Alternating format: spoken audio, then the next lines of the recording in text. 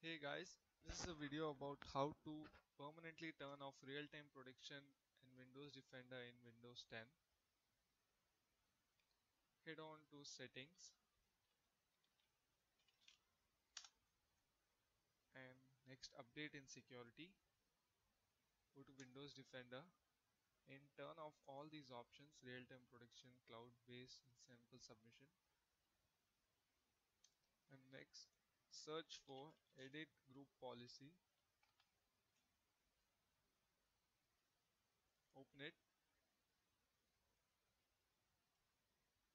Go to administrative templates and with next Windows components. Look for Windows Defender.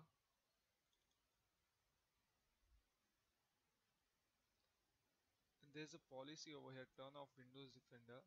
By default it is set on not configured double click it and enable the policy.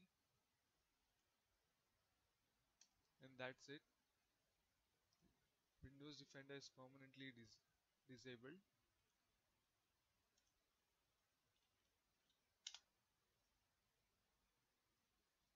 So it's not opening.